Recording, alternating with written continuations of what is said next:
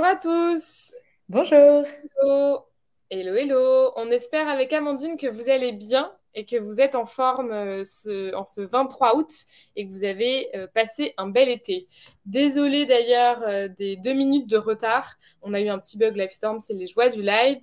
mais on est super contente avec Amandine d'être avec vous aujourd'hui pour parler de la structure des équipes grosses marketing en startup. on va être ensemble pendant à peu près 45 minutes.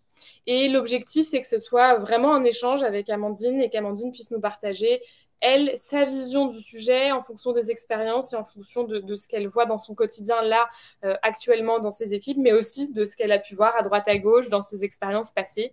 Euh, l'objectif surtout, c'est que ça vous serve et donc, pour que ça vous serve, n'hésitez surtout pas dans le chat à marquer vos questions.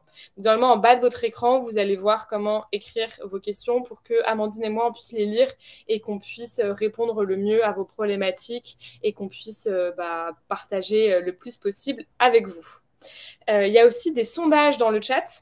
Euh, donc, c'est en fait, il y a question et sondage. Donc, quand on vous pose une question dans le sondage, le plus vous y répondez, le plus ça nous aide aussi à Amandine, à Amandine et moi, pardon, de savoir ce qui vous intéresse, qui vous êtes, euh, ce qui fait sens pour vous. Voilà, euh, avant de rentrer un peu dans, le, dans qui on est chez Lyon, je voulais revenir aussi sur pourquoi est-ce qu'avec Amandine, on, s'est dit, tiens, ce sujet est hyper important. Euh, parce que Amandine intervient chez nous, chez Lyon, depuis 2020, donc ça fait euh, quelques années déjà.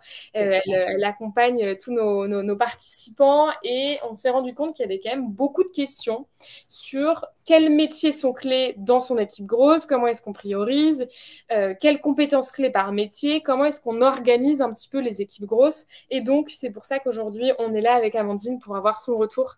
Euh, et Amandine, euh, tu, te présenteras, donc tu pourras expliquer les expériences que tu as eues et ce que tu as vécu.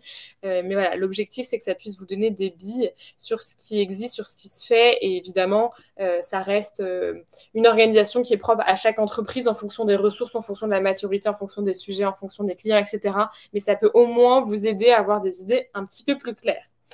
Voilà, euh, je voulais revenir aussi sur qui on était chez Lyon. Euh, j'ai vu quelques dans les inscrits qu'il y avait des alumni, donc ça fait toujours plaisir de revoir nos, alumni euh, parmi nous. Lyon, on est une école de formation L'objectif, c'est vraiment de remettre euh, l'apprentissage au cœur de notre quotidien pour euh, ne pas stagner dans sa vie professionnelle, pour évoluer, pour grandir, pour apprendre, pour découvrir et donc pour s'épanouir un petit peu plus, euh, pour s'épanouir tout court même et pas qu'un petit peu plus. Et donc, on va vous proposer de vous accompagner pour monter en compétence sur des thématiques ou sur des métiers qui sont liés au digital. donc, on existe depuis 2016. Moi, je suis en charge, donc je suis arrivée chez Lyon en 2019 et là, actuellement, je suis en charge de la pédagogie de Maria Schools. Donc, vous devez vous dire, OK, elle est vraiment euh, embrouillante, cette personne, puisque euh, elle nous parle de Lyon, puis elle nous parle de Maria, rien ne va plus, mais vous inquiétez pas. Euh, Lyon, donc l'école Lyon fait partie d'un campus qui s'appelle Maria Schools, qui, qui, regroupe plusieurs écoles qui ont la même pédagogie, mais qui abordent des thématiques différentes. donc, aujourd'hui, on se centre vraiment sur le gros, parce qu'on a une formation grosse chez Lyon. Il y a d'autres thématiques sur le storytelling, la RSE, le product management, etc dans les autres écoles. Si jamais vous avez des questions, n'hésitez pas euh, à me contacter, je serais ravie d'en parler plus avec vous. Euh, mais pour revenir un petit peu plus sur Lyon, euh, on a cinq programmes différents. Je ne vais pas vous les détailler, mais ça vous donne un peu une idée des thématiques qu'on aborde chez Lyon, dont la formation grosse évidemment. Et quel que soit le format, on a une pédagogie qui est super importante pour nous, qui est le fait que nos intervenants, donc vos profs sont des intervenants comme Amandine qui partagent pas blanc ou noir ou euh, la vérité absolue, mais qui partagent vraiment leur quotidien. C'est des personnes qui bossent en startup scale-up, qui sont head of growth, growth manager dans le cadre de la formation grosse, mais dans, les autres euh, formations qui sont des métiers qui sont euh, spécialistes du sujet et qui vous partagent vraiment leur vision de ce métier, du sujet, de ce qui a marché, pas marché, leurs outils, etc. Avec beaucoup de concret, de mise en pratique parce qu'on vous fait bosser dans les formations avec des cas, des cas fils rouges, avec des des, business cases avec, euh, ou en l'appliquant sur vos propres cas. Donc ça vous donne un peu une idée. Euh, depuis 2016, on a plus de 5000 alumni et on a plus de 400, 400 pardon, 1, 2, 3, 450 intervenants différents. Euh, les chiffres, c'est pas toujours simple. plus de 450 intervenants différents qui viennent de chez Docto, Alan, Payfit, Conto, enfin de plein d'entreprises différentes pour que vous puissiez vous faire une idée de, la thématique et que vous puissiez comprendre comment c'est fait dans différentes organisations.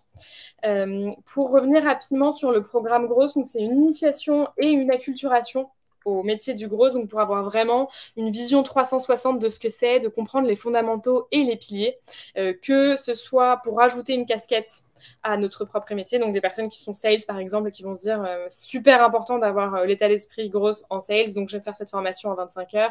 Euh, des personnes qui sont entrepreneurs, qui lancent leur entreprise et qui ont besoin de booster la croissance de leur, entreprise. Des personnes qui sont en marketing plus traditionnel et qui ont envie de, de comprendre ce que c'est, de pouvoir le faire également et le rajouter dans, dans leur scope. des personnes qui sont grosses managers juniors ou des personnes qui le font depuis quelques années mais qui ont envie de comprendre et de s'inspirer de ce qui est fait dans d'autres entreprises euh, donc c'est vraiment une formation qui, est une, bah, acculturation euh, aux, grosses, euh, aux grosses. Voilà. on a deux formats différents. Je ne vais pas rentrer vraiment dans les détails, mais ça vous donne des idées si jamais ça vous intéresse. On a un format en présentiel sur six semaines à Paris qui démarre le 13 septembre et un format en e-learning cinq semaines avec deux rendez-vous clés puisque ce qui est super important pour nous, c'est aussi de pouvoir avoir des vrais échanges, de pouvoir apprendre avec des personnes qui font donc comme Amandine, mais aussi par les personnes qui sont avec nous dans la, dans la formation, qui ont différents profils, et donc de pouvoir apprendre avec, euh, grâce aux compétences et aux, et aux, appétences de chacun. Si jamais vous avez des questions sur ces programmes, n'hésitez pas. C'est pas le but d'aujourd'hui qu'on rentre vraiment dans le détail, donc je suis assez, assez rapide là-dessus, mais euh, si jamais vous avez des questions, je serais toujours ravie de prendre un moment et d'échanger avec vous par mail ou par téléphone. Et euh, Mélodie sera aussi ravie de le faire, qui est en charge des admissions chez nous. Donc voilà, si vous avez la moindre question, vous n'hésitez pas. J'espère que je vous ai un peu donner les billes pour comprendre où vous êtes aujourd'hui, dans quel cadre s'intègre ce webinaire et, pourquoi est-ce qu'on est là ensemble. Euh, et avant de laisser la parole à Amandine, comme je vous le disais au début, ce qui est important pour nous, c'est de comprendre qui vous êtes. Qu'est-ce qui fait que vous êtes inscrit à ce webinaire Qu'est-ce qui fait que vous êtes là connecté avec nous aujourd'hui sur votre pause déjeuner, enfin début de pause déjeuner puisqu'il est midi. Euh, qu'est-ce qui fait que vous êtes là euh, Votre métier, votre entreprise? Le plus vous nous donnez d'infos, le plus on peut avec Amandine euh, bah, axer nos discussions et nos échanges sur ce qui a du sens pour vous. Donc, on vous laisse tout noter dans le chat. Et puis, ce que je te propose, Amandine, c'est que tu puisses bah, peut-être te présenter et nous expliquer ton parcours. Et merci encore, Amandine, d'être avec nous surtout. Ah bah, avec plaisir. C'est toujours un plaisir de, revenir pour échanger un peu euh, avec euh, toute la communauté Lyon. Donc, en fait, moi, euh, qu'est-ce qui m'a mené au growth et au marketing en startup? J'ai fait un master en marketing, somme toute, très classique, avec des expériences, bah, pareil, dans des boîtes plus traditionnelles. Et je me rendais compte que c'était pas forcément ce qui me correspondait. Et j'ai eu la chance de faire la formation Lyon, donc il y a assez longtemps quand même. C'était une des premières promos. C'était en 2016. Ouais, c'est ça. Donc euh, voilà, et pour moi, ça a été une révélation. Je me suis vraiment rendu compte que j'avais envie de travailler en startup, que ça me correspondait beaucoup plus en termes de conception du marketing et même de, bah voilà, je, trouvais que c'était beaucoup plus euh, dynamique et euh, ça me correspondait mieux. Donc à partir de là, j'ai été responsable marketing pendant deux ans chez Sculteo dans l'impression 3D. Donc ça a été ma première expérience de management et qui a été bah, très formatrice, parce que j'étais vraiment jeune, c'était mon premier job et je me suis retrouvée à manager toute l'équipe marketing. Déjà, ça a été un, début d'apprentissage. Et voilà, il y avait déjà cette approche euh, startup, cette approche croissance, etc. Donc, beaucoup d'enseignements. Après ça, je suis partie travailler chez KissKissBankBank, où là, euh, pour le coup, bah, encore une fois, beaucoup d'enseignements et euh, je me suis retrouvée à être responsable marketing de toute une partie qui bossait sur le financement dans les énergies renouvelables. J'ai fait ça pendant deux ans. Et ensuite, je suis devenue CMO chez Aven, qui était une startup dans le vin. Et là, j'ai dû arriver dans, un stade de développement assez précoce et j'ai dû monter toute l'équipe euh, marketing et growth. Donc ça, ça a été hyper intéressant parce que j'ai pu voir vraiment comment est-ce qu'on construit de zéro une équipe, euh, quels sont les postes qu'on va choisir d'ouvrir, euh, qu'est-ce qui marche, qu'est-ce qui marche pas, faire beaucoup de recrutement. Donc voilà, ça a été assez intéressant là-dessus.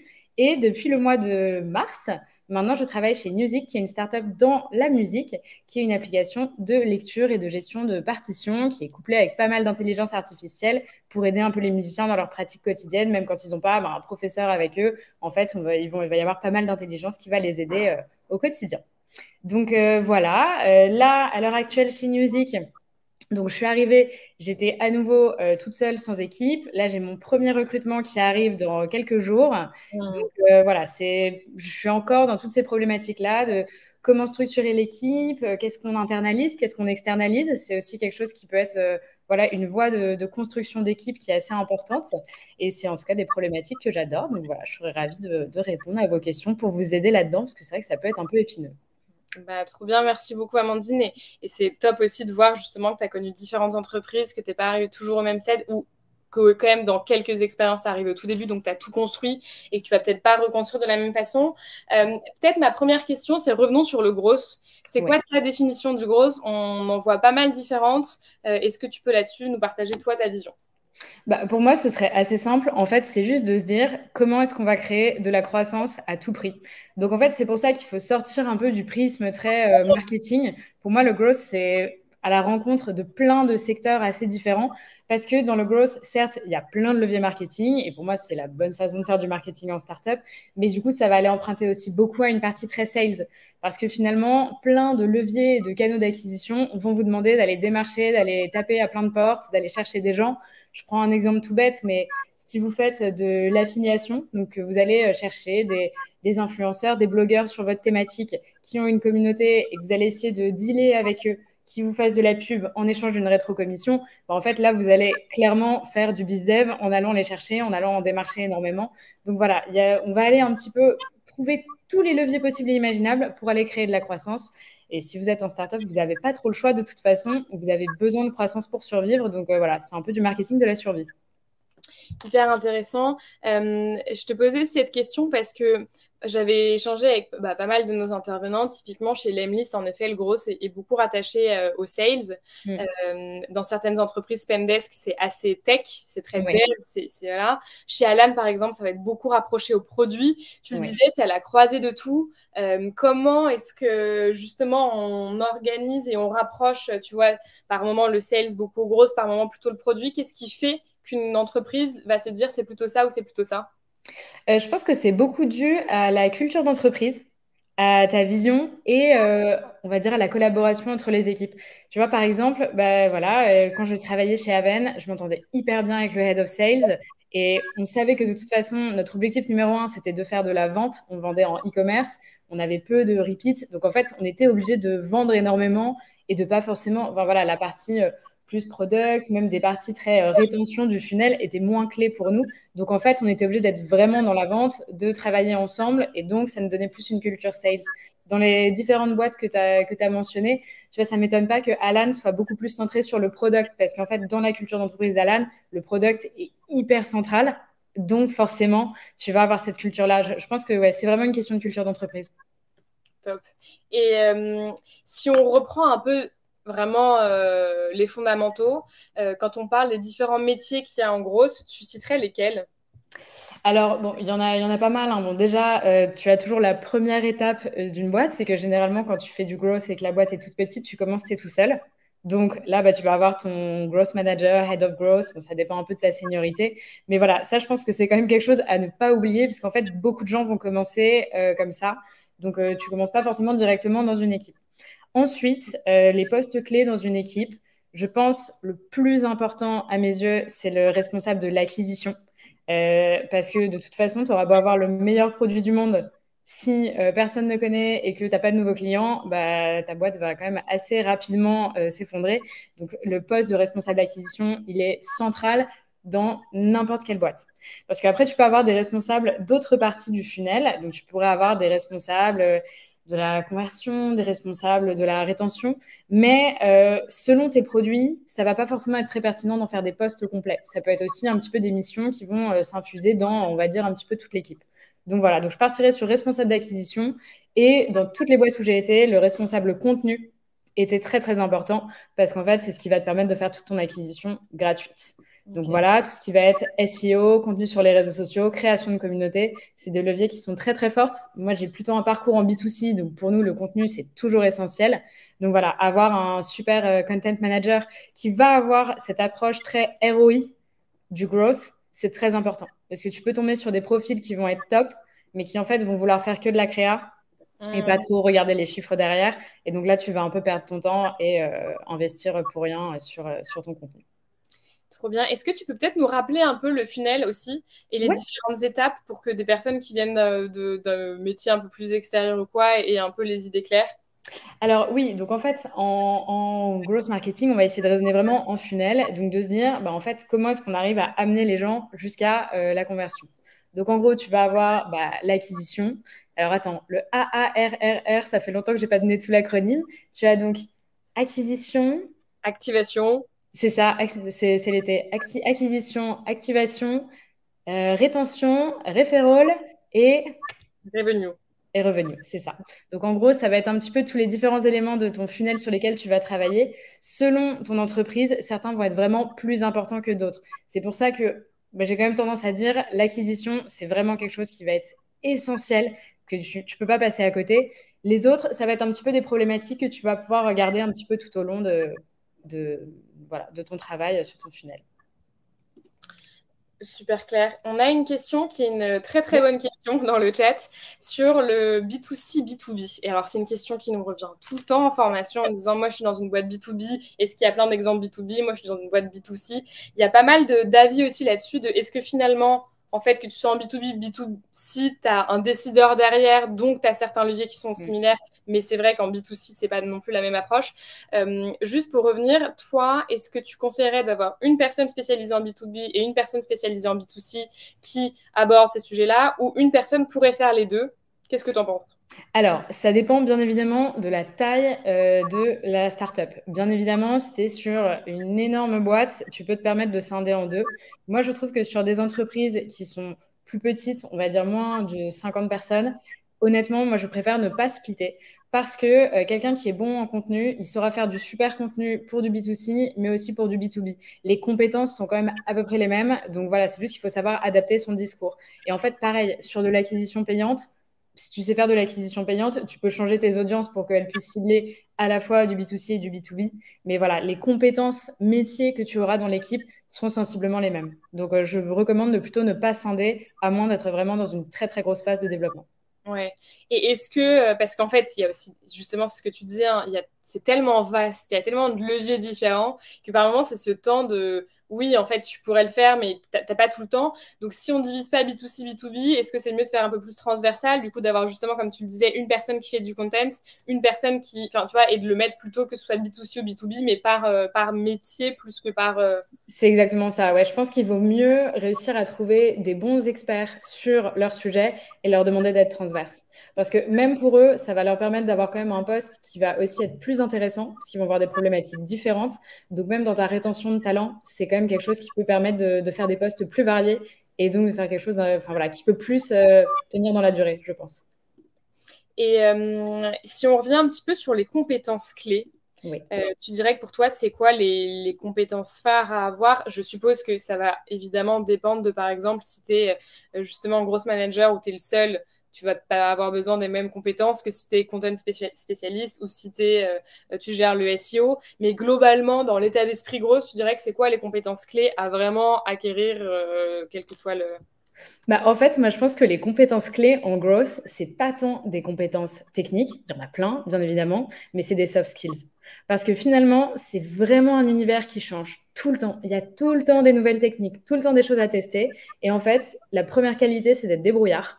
Parce qu'en fait, on va tout le temps te demander de faire des choses que tu sais pas faire. Et du coup, il va falloir que tu te débrouilles, que tu sois là en train de faire tes recherches et de te dire, bah, en fait, euh, comment est-ce que je vais me débrouiller pour faire ça?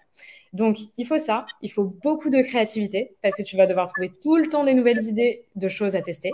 Donc, il faut que tu sois quelqu'un qui reste pas trop campé sur tes positions. Il faut que tu saches te remettre en question parce que tu vas tester tout le temps des choses. Donc, il y a plein de fois où ça va pas marcher.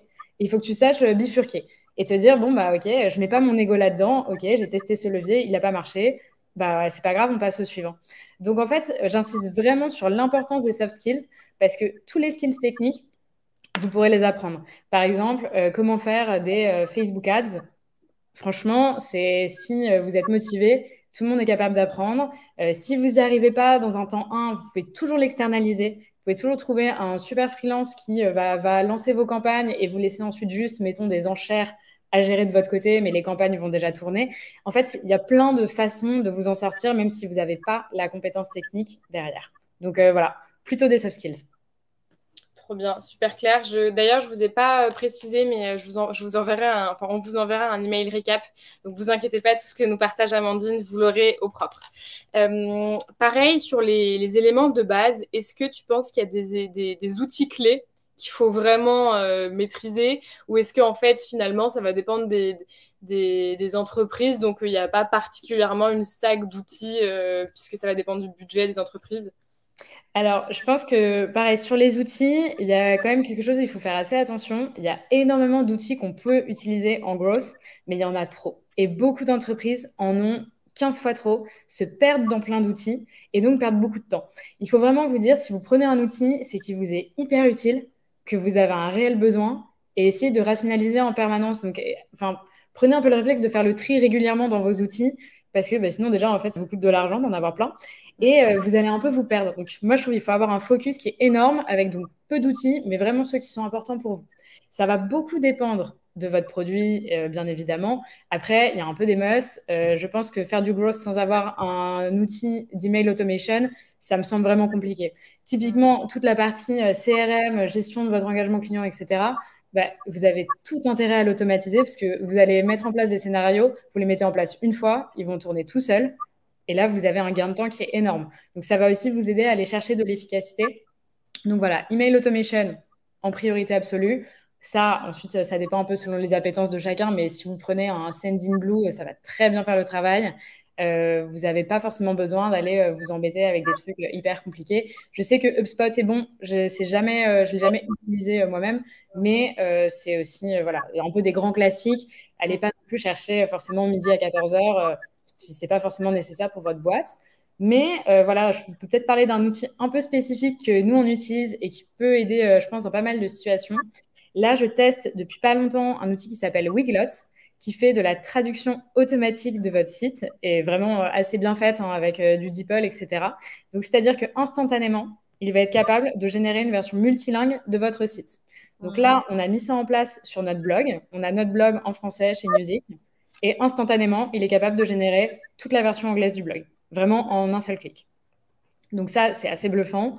Et euh, là, on attend un petit peu de voir les premiers résultats, parce que ça fait pas très longtemps qu'on s'est mis sur la problématique SEO. Donc, on attend un peu que ça décolle, mais dans un temps 2, ça veut dire qu'en une seconde, je suis capable de lancer mon blog en allemand, en italien, euh, en espagnol. Donc euh, ça, c'est voilà, c'est des outils d'automation qui vont être hyper puissants, qui vous font gagner beaucoup de temps. Et donc là, euh, vous ne vous faites pas polluer par des outils parce que ça ne va pas vous prendre tant de temps que ça. Super clair. Et justement, sur l'évolution aussi des outils, euh, comme ils évoluent très très vite, est-ce que par moment tu te dis, bah en fait tu te bloques comme ce que tu disais, tu les nettoies régulièrement, genre tous les deux mois tu te bloques un moment où tu te nettoies tous tes outils, où tu te reformes, où tu... Alors, je suis pas, je, je, pense que tous les deux mois c'est une très bonne idée, mais j'ai pas ce niveau de discipline.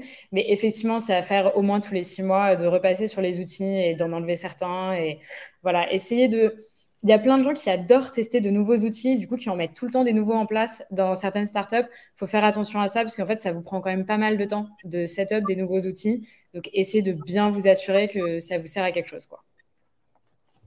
Euh, ce que je te propose, Amandine, c'est peut-être qu'on revienne un peu sur la priorisation des métiers quand tu démarres euh, et quand tu construis justement euh, from scratch ton équipe grosse. Qu'est-ce que tu conseilles Tu démarres par quoi et, typiquement, peut-être aussi voir en fonction de ce que tu avais fait chez Aven et de là ce que tu vas faire. Est-ce que c'est pareil parce qu'en fait, bah, ça a du sens en fonction? Est-ce que tu vas justement faire des choses différemment? Et si oui, lesquelles? Donc là, c'est un énorme pavé que je t'envoie. Non, mais alors en fait, pareil, il n'y a pas une réponse toute faite. Ce qui est super important, c'est déjà de comprendre vos forces à vous en tant que manager c'est quoi les sujets que vous maîtrisez bien et donc du coup sur lesquels vous avez peut-être un petit peu moins besoin d'aide dans un temps 1. Sauf si bien sûr on vous donne directement le budget pour recruter 10 personnes. Bon, là c'est autre chose. Mais sinon généralement on va vous ouvrir quand même les postes petit à petit. Donc à partir de là, essayez de vous dire qu'est-ce qui me prend trop de temps que j'aime pas forcément trop faire et sur quelqu'un, enfin, et quelqu'un euh, sera meilleur que moi pour le faire? Donc typiquement, moi, le premier poste que j'ouvre généralement, c'est le contenu parce que même si j'adore ces problématiques-là, je sais que voilà, passer ma journée à être sur TikTok, Insta, faire des reels, etc., c'est pas quelque chose que j'apprécie faire. Et je sais qu'il y a des gens qui font ça hyper bien. Donc en fait, pour moi, c'est toujours mon premier profil prioritaire, c'est vraiment sur le contenu. Ensuite, je vous disais que ce qui était hyper important dans une boîte, c'était le responsable acquisition. Sauf que moi, c'est là-dessus que j'ai pas mal d'expérience. C'est quelque chose que j'aime bien faire. Donc, en fait, c'est quand même une mission que je vais avoir tendance à garder un peu plus longtemps, jusqu'à ce que, bien sûr, j'ai suffisamment de budget pour pouvoir recruter quelqu'un aussi en de moi là-dessus. Mais en tout cas, je vais plus le garder, euh, même si c'est un poste important.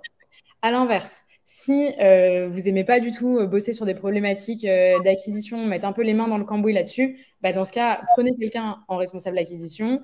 Et si, je sais pas, ça vous amuse de continuer à faire du contenu, etc., gardez-le pour vous. Mais en tout cas, il faut vraiment réussir à comprendre qu'est-ce que vous avez vraiment intérêt à externaliser et à ne pas continuer à faire vous-même.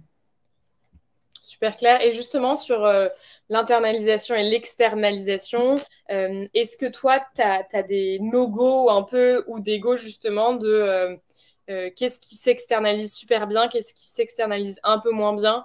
Euh, tu vois, typiquement, euh, nous, on s'est posé la question chez Lyon. évidemment, c'était avant que Flavie vienne et récupère tous ces sujets à accompagner de son équipe.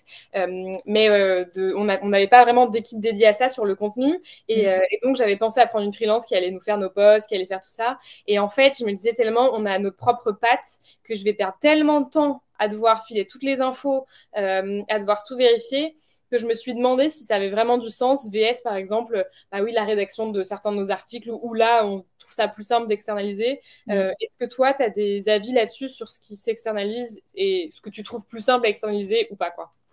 Alors, il y a plein de choses qui peuvent s'externaliser. Là, à l'heure actuelle, chez Music, typiquement, on travaille avec beaucoup de, d'externalisation parce que ça nous permet de voir quels postes sont vraiment essentiels avant de les créer en interne. Donc, c'est quand même euh, quelque chose euh, qui te donne une flexibilité qui est pas mal, mais je suis d'accord, ça peut pas convenir à tous les métiers. Sur le contenu, euh, clairement, tout ce qui est rédaction d'articles, je pense que c'est vraiment une best practice de l'externaliser. Il y a des très bons rédacteurs externes. Ça prend un temps monstrueux d'écrire des bons articles pour le SEO parce qu'il faut écrire des choses qui sont longues, qui sont bien structurées. Avoir fait une étude de mots-clés, c'est vraiment beaucoup, beaucoup de travail. Euh, je sais qu'il y a plein de boîtes qui vont essayer un peu de faire tourner sur les, sur les problématiques de contenu avec un stagiaire tous les six mois c'est très compliqué de trouver un stagiaire qui écrit hyper bien. Euh, vous allez avoir un temps de formation, vous allez perdre trop de temps. Donc, euh, je pense que vraiment, c'est mieux de l'externaliser. Donc voilà, ça, c'est un bon exemple. Le community management, tu peux trouver des gens qui vont être très, très bons. Donc, ça peut être un bon plan de l'externaliser. Mais effectivement, comme tu le dis, si tu veux avoir une forte patte, créer ta communauté, c'est sûr que c'est chouette si tu peux l'internaliser. Mais ça dépend, en fait. Dans un temps, un, tu peux potentiellement externaliser. Et après, au bout d'un moment, si tu trouves un super profil créatif, dans ce cas, tu peux, tu peux, tu peux revenir euh, en interne. Parce qu'il faut quand même que tu aies quelqu'un qui soit très bon pour le faire de façon interne. Voilà, tu as, quand même pas mal de gens où ils vont pas avoir cette appétence-là, où ils vont beaucoup s'épuiser sur ces types de postes. Donc, en fait, ils vont en avoir marre rapidement. Donc, euh, voilà, ça peut être quand même un bon plan parfois pour avoir de la continuité, d'avoir un free là-dessus, sur le contenu en tout cas. Voilà, et sur l'acquisition, notamment tout ce qui est acquisition payante, tu peux avoir, tu peux l'externaliser avec des super free. Par contre, attention, euh, parce que pour moi, ça marche l'externalisation que si vous y connaissez quelque chose vous-même. Mm. Si vous externalisez l'acquisition payante et que vous n'avez aucune notion, vous avez beaucoup de chances de vous faire rouler dans la farine, très sincèrement. Euh, parce que certaines agences euh, peuvent vous dire Ah, j'ai passé toute la semaine, ça m'a pris un temps monstrueux. Alors qu'en fait, quand vous y connaissez, vous savez que ça leur a pris 10 minutes. Ouais. Donc, il faut faire très très attention à ça. Euh, c'est vraiment un sujet à ne pas externaliser à la légère. Ok, super clair pour euh, l'externalisation. Si on revient un peu sur les différents métiers grosses, on a une question sur le métier de grosse de grosse ingénieure. Est-ce que tu peux nous donner pardon la définition et euh, Honnêtement, Gross Engineer, c'est un type de métier auquel j'ai été absolument pas euh, confrontée. C'est plutôt rare en startup, donc c'est vraiment le fait de dire bah, on va recruter des gens qui ont des fortes compétences techniques, très dev euh, dans, dans le growth. Honnêtement, euh, c'est vraiment un métier qu'on voit dans des grosses équipes en growth. Donc, si cette problématique se pose, c'est que vous avez déjà pas mal de monde avec vous derrière et que c'est un peu pour perfectionner et aller plus loin. Mais je pense pas que ce soit la chose à prioriser. En plus, c'est des profils qui vont vous coûter assez cher en recrutement.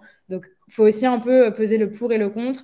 Est-ce que finalement, un bon freelance en gros ne pourrait pas vous dépanner sur euh, ces problématiques-là, des problématiques plus techniques que votre équipe ne sait pas gérer?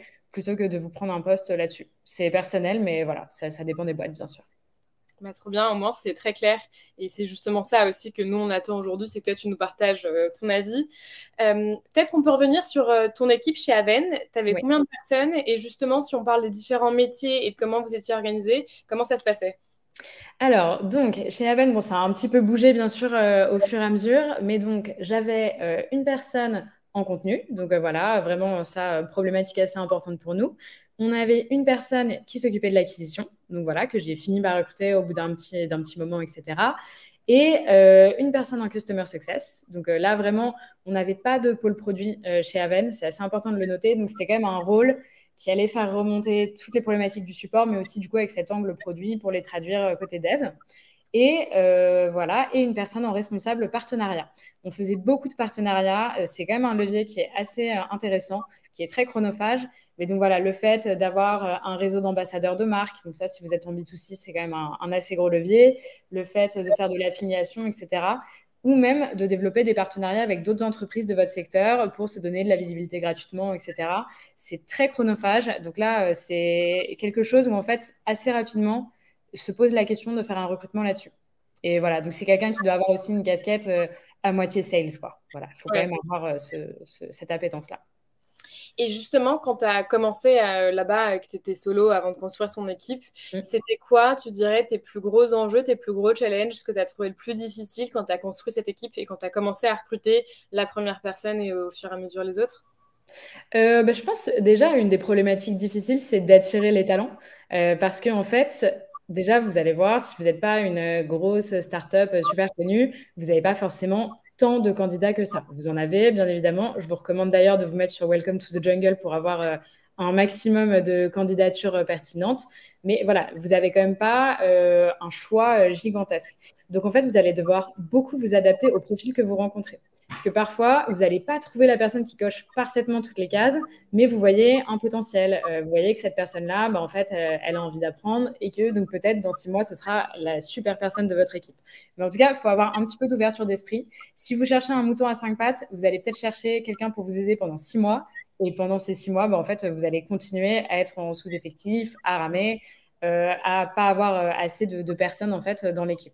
Donc je trouve qu'il faut faire déjà attention à ça et c'est vraiment une problématique le, recrutement. En plus, euh, quand vous êtes dans une petite startup, vous n'êtes pas forcément toujours les plus compétitifs en termes de salaire. Donc là, vous allez devoir prendre votre casquette sales. Et en fait, une fois que vous avez un très bon profil, ça va être à vous de vendre votre boîte. il faut réussir à quand même, je trouve, switcher assez vite, vous rendre compte qui a un bon potentiel. Et là, en fait, c'est à vous de convaincre aussi euh, les gens de venir vous rejoindre.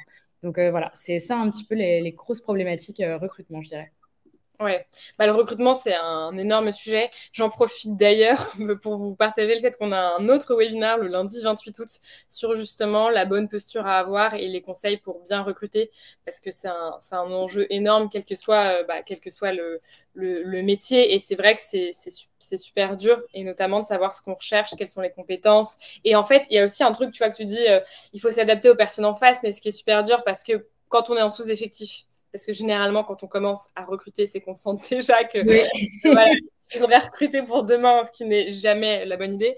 Euh, c'est de pas non plus tomber dans en fait cette personne a l'air géniale j'en ai peut-être pas forcément besoin mais peut-être que et donc c'est un peu le, risque où je me dis par moment faut quand même faire un petit peu attention pour pas tomber dans l'autre côté qui est on en oublie vraiment nos besoins euh, nos besoins bah, c'est vrai que moi, si je peux donner un petit conseil, quand je fais un recrutement, bon, déjà, il faut que vous soyez euh, super carré. Il faut vraiment euh, se faire un process, euh, voilà, qui est pas forcément trop long. Faites attention au process trop long où on a 150 étapes de validation, 15 entretiens. Si vous êtes une petite boîte, les profils qui veulent aller en petite boîte, si vous leur demandez de faire euh, une demi-tonne d'entretien, vous allez aussi les perdre. Donc, il faut faire attention à ça.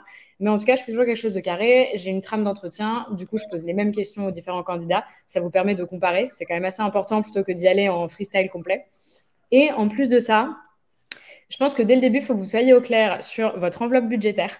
Beaucoup de startups ne font pas ça et se disent on va voir euh, quels sont les profils qui viennent. Bah, en fait, non. Il faut quand même que vous sachiez, même si votre fourchette elle est un peu large, euh, jusqu'où vous êtes prêt à aller, etc. Ça va quand même un peu cadrer les gens avec lesquels vous allez parler ou les gens que vous allez en fait arrêter dès un premier call de screening parce que bah, ils sont trop chers ou en fait trop juniors et que vous pouvez, mm. vous savez que vous pouvez payer quelqu'un d'un peu plus cher. Je pense aussi, il faut dès le début avoir très clairement en tête les trois ou quatre points sur lesquels vous ne pouvez pas faire de concessions. typiquement, si je recrute quelqu'un en contenu, je ne peux pas recruter quelqu'un qui n'est pas créatif et euh, qui n'a pas au moins fait un stage de community manager ailleurs. Si je recrute pour un poste, il faut quand même que la personne ait, euh, sans avoir une expérience longue comme le bras, mais euh, voilà, quelque chose, il faut quand même un peu de cohérence.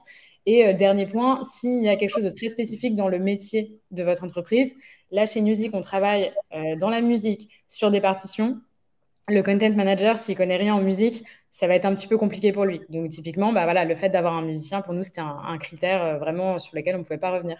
Mais tout le reste, après, chercher une capacité d'apprentissage et les gens progressent. Donc euh, voilà, recruter sur des potentiels aussi quoi. Carrément. Je suis complètement d'accord. Euh, pour revenir sur l'organisation de l'équipe grosse, aujourd'hui, ou dans ton, ta dernière expérience, pardon, c'est quoi les, tu vois, les réunions que vous aviez, les points clés, euh, et comment surtout, comme on l'a dit au début, c'est tellement transverse, tu bosses avec tellement d'équipes différentes. Euh, est-ce que tu avais, est-ce que, et tu vas mettre en place là, une réunion d'équipe avec toute la team sales et la team grosse, ou un responsable à chaque fois? Enfin, comment tu le structures Et c'est quoi tes conseils quand tu es dans les équipes grosses pour avoir la meilleure orga possible? Alors, moi, mon expérience, c'est quand même plutôt sur des petites équipes. Donc, en fait, on peut fonctionner avec beaucoup d'agilité. Il y a beaucoup d'échanges informels. Les gens se parlent beaucoup. C'est pas trop des entreprises avec des gros silos. Donc, ce que je vais dire va être un petit peu plus nuancé. Mais euh, je pense qu'au contraire, le fait de multiplier les réunions dans tous les sens, ça va faire trop de moments d'échange. On se donne pas d'informations qui sont vraiment utiles et ça démotive les équipes. Euh, en fait, tout le temps que vous passez en réunion, vous n'êtes pas en train de produire et euh, ça vous coupe, ça vous coupe dans votre journée, vous perdez en efficacité. Je sais que là, d'arriver chez Music où y a, on fait vraiment très très peu de réunions, c'est génial en termes de gain de temps et de ce qu'on arrive à produire même en étant une petite équipe. Donc du coup, faites attention à pas multiplier les réunions dans tous les sens. Pour moi, il faut structurer des moments d'échange dans l'équipe. Donc, ce qu'on faisait euh, chez Aven, on avait une réunion, euh, bah, en fait, on avait une réunion d'équipe euh, par semaine, sachant qu'on faisait beaucoup de remote. Donc voilà, c'était quand même pour avoir euh, un instant d'échange, mais c'était rapide. En fait, le but, c'était pas d'aller dans le détail, c'était plus chacun partage un peu ses points de la semaine, voilà, s'il a envie qu'on l'aide sur quelque chose, mais plutôt un moment d'échange informel et vraiment quelque chose de court, pas quelque chose d'exhaustif où les gens viennent présenter tout leur travail. Ensuite, on avait des one-one, donc vraiment, je faisais un point avec chaque personne une fois par semaine. Ça, c'était euh, une demi-heure. Pareil, il faut que ce soit efficace. Si ça dure un quart d'heure, c'est très bien. Mais voilà. Et les gens ont préparé, donc il faut vraiment que les gens aient leur trame pour venir cette fois-ci bah, vraiment m'expliquer un peu le détail de ce qui a été fait pour que je puisse avoir un suivi assez important pour que je puisse voir euh, où en sont les gens dans l'équipe, euh, détecter un peu des problèmes, etc., leur donner des conseils et leur proposer de se rapprocher de certains autres membres de l'équipe si besoin, si en fait je vois que c'est pertinent. Et après, on avait une grosse réunion avec toute l'équipe, donc là vraiment toutes les équipes, une fois par semaine. Là, c'était plutôt une réunion un peu fleuve de une heure où chaque équipe présentait son travail. Donc euh, voilà. Mais je, pense vraiment il ne faut pas surmultiplier les réunions, sinon vous démotivez à fond vos équipes. Donc euh, attention à ça. Et hum, justement aussi, quand tu recrutes des personnes qui sont assez juniors dans tes équipes, euh, alors il y a deux côtés dans ma question. C'est le côté comment tu les aides à monter en compétence sur les sujets grosses?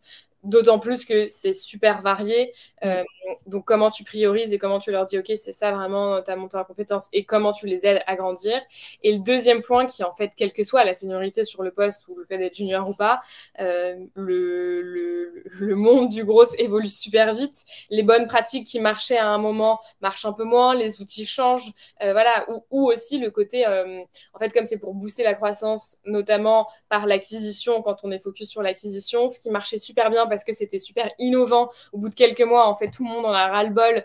Euh, je vais prendre l'exemple des, webinars, mais pendant le confinement, mais on faisait des webinars, je crois, deux à trois fois par semaine. On avait des 300 inscrits. Enfin, vraiment, c'était tous les jours. Les gens avaient envie de voir des gens. Les gens étaient et juste après le confinement, on a vu ce, c'est bon, on n'a plus envie, on, veut du présent, on veut, on veut du présentiel. C'était limité avec euh, avec euh, les réglementations, mais tout ça pour dire qu'il y a des choses qui évoluent super vite. Donc comment est-ce que tu fais pour rester au bout du jour, soit quand tu es junior et que tu as besoin de les faire apprendre, soit pour toi-même euh, évoluer quoi?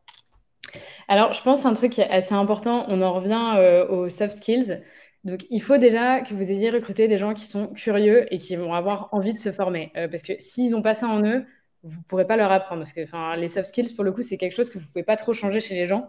Donc, euh, déjà, c'est le premier point. Ensuite, euh, quand vous avez des juniors, il faut vraiment leur donner le réflexe de se former. Donc, en gros, leur dire, bah voilà, euh, va sur LinkedIn, commence à suivre telle et telle personne, regarde ce qui se fait, essaye d'être curieux. Il faut vous créiez un climat de confiance où ils se sentent, où ils sentent qu'ils peuvent vous proposer des nouvelles idées. Parce qu'en fait, une fois qu'ils auront pris l'habitude d'être créatifs, ça va continuer. Donc en gros, le climat de confiance, c'est assez important pour que les gens progressent assez rapidement. Et euh, c'est aussi important pour qu'ils vous posent leurs questions. Donc en fait, il y a plein de points sur lesquels, si vous avez des gens débrouillards, ils vont se former en autonomie. Mais il faut juste qu'à chaque fois qu'ils aient vraiment un problème, ils puissent venir euh, taper à votre porte. Donc ça, pareil, c'est le climat de confiance en fait qui va faire que vous arriverez à les faire progresser le, plus rapidement possible. Parce qu'ensuite, il faudra juste s'adapter à leurs questions. Euh, les gens vont plus ou moins bien comprendre certaines problématiques. Et là, bah, c'est aussi à vous en tant que manager de savoir vous former de connaître un peu euh, bah, les dernières tendances, c'est super important pour pouvoir euh, justement euh, inspirer votre équipe et leur donner des nouvelles idées. Donc ça, c'est le rôle de manager, il est hyper important là-dessus, sur le fait de se tenir au courant. Donc que ce soit en suivant les bonnes personnes, mais aussi en parlant un maximum avec vos homologues. Donc en gros, vous rencontrez des head of growth d'autres boîtes, bah, comme ça, vous comprenez comment est-ce que eux ils fonctionnent. Et là, ça vous permet de pouvoir un peu donner d'autres inspi à votre équipe. Super clair. Euh, je vois que le, temps file. J'ai deux questions qui me restent pour toi. Euh, la première, c'est tes enjeux là à venir en gros, actuellement cette année ou pour 2024, parce qu'on est déjà en train de préparer 2024. Euh, tu dirais que c'est quoi? Euh, bah, nous, notre plus gros enjeu, là, en fait, à l'heure actuelle chez Music, c'est de réussir à devenir euh, parfaitement rentable. On flirte avec la rentabilité, mais donc maintenant, on veut être vraiment rentable. C'est un marché qui n'est pas forcément toujours simple, mais euh, parce que c'est assez niche, en fait, hein, les lecteurs de partitions sur iPad, c'est de plus en plus utilisé, mais quand même, voilà, on a beaucoup de notoriété auprès des orchestres, mais là, il faut qu'on explose en B2C. Donc, du coup, aller chercher un maximum de musiciens amateurs, ça, c'est vraiment notre plus gros enjeu. Donc euh, clairement, encore acquisition, comme toujours, euh, voilà, acquisition, et puis euh, bah, continuer sur la monétisation avec le fait que les gens partent sur nos offres payantes aussi, mais vraiment acquisition. Super clair. Et de manière générale, tu dirais que le, le, les gros enjeux et les gros challenges, en gros, tu vois, quand on dit qu'une stratégie grosse de telle ou telle boîte a cartonné, mm. tu penses que en fait, c'est une question qui est super dure parce que ça va dépendre. En effet, là, par exemple, toi, ta boîte, elle est focus sur l'acquisition quand d'autres boîtes sont focus sur la rétention ou sur d'autres, d'autres éléments aussi de la strate grosse. Euh, mais tu dirais que c'est quoi les grands enjeux à avoir en tête pour driver ces équipes euh, grosses? Je suis pas sûre d'avoir compris ta question, vu qu'elle est partie dans plusieurs sens. Ouais, je, je, suis pas très droite aujourd'hui. Je... Ma question, c'est en gros, quand tu gères ton équipe grosse, as les, gens, les enjeux, euh, là, typiquement, toi, c'est encore focus sur l'acquisition, euh, mais qui comprend un. Enfin, là, ton enjeu d'acquisition, il focus maintenant sur les six prochains mois, peut-être les neuf prochains mois. Mais euh, tu en as d'autres en parallèle. Quoi. Bien sûr. Donc, comment tu fais pour driver tes équipes à la fois à répondre aux grands enjeux, mmh. mais en même temps, en fait, ton enjeu d'après, il va arriver après. Donc, il faut démarrer, euh, tu vois. Oh, je suis tellement flou, je comprends. Non, mais j'ai compris ce que tu voulais dire. pas de souci, j'ai traduit. Euh, alors, bah, en fait, je trouve qu'il faut que tu arrives à prioriser, enfin, il faut que tu arrives à redigérer toi-même les enjeux pour donner des directives euh, très claires à ton équipe. Donc de dire, bah voilà, là, le but, c'est euh, qu'on arrive à tant de chiffre d'affaires. Donc, enfin, vraiment, moi, j'aime bien partir sur des approches chiffrées, comme ça, c'est très euh, littéral. Donc, en gros, leur dire, bah voilà, pour ce mois-ci ou pour les six prochains mois, il faut qu'on atteigne tant de pourcents de croissance. Donc, ça, on va le décliner. Comment est-ce que chaque personne dans l'équipe peut travailler vers cet objectif-là? Donc, ensuite, tu redispatches en objectif pour chacun. Et généralement, en fait, ça suffit de, enfin, ça suffit à motiver les gens, en fait, de leur montrer, bah voilà, le but de la grosse stratégie business, c'est ça. En fait, il faut donner un peu de hauteur et de vision stratégique aux gens pour que les gens arrivent à se rapprocher, enfin, à se raccrocher à ça. Et ensuite, bah, bien évidemment, si l'acquisition c'est le plus important, bah, ils sauront qu'il faut partir à fond sur l'acquisition. Mais s'ils se disent, ah mais en fait, avec un peu de rétention, ça va m'aider euh, pour atteindre cet objectif-là, ils vont aussi savoir que c'est euh, quelque chose sur lequel ils peuvent travailler. Mais voilà, je pense qu'il faut vraiment donner des gros objectifs business et euh, essayer de ne pas faire trop de rétention d'informations là-dessus. C'est vraiment hyper important, même au global, en motivation pour les gens en startup.